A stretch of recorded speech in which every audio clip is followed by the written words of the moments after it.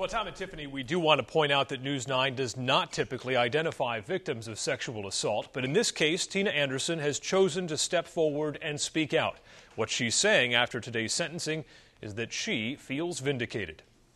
I'm very sorry for the mistreatment of Tina.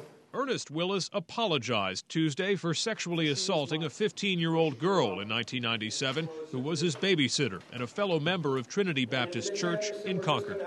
I want the court to know that I am very sorry and ashamed for the thoughtless act of sexual misconduct that I committed with Tina Dooley Anderson in the bedroom of her home 14 years ago. Tina Anderson, now 29 years old, was present when a jury convicted Willis in May. She listened to Tuesday's sentencing over the phone from her home in Arizona.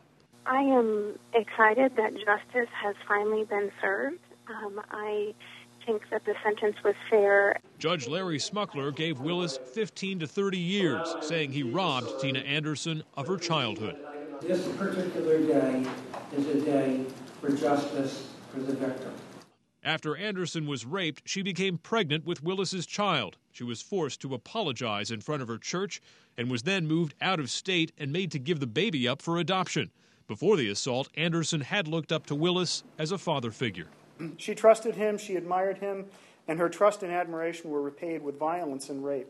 Anderson has since left the Independent Fundamental Baptist Church, and now that Willis is going to prison, she wants to reach out to other victims of sexual assault.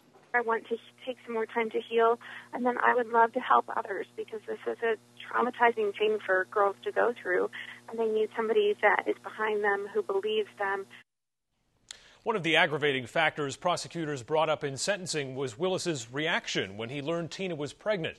They say he offered to punch her in the stomach to induce a miscarriage. Willis is now being housed at the state prison in Concord. Adam Sexton, WMUR News.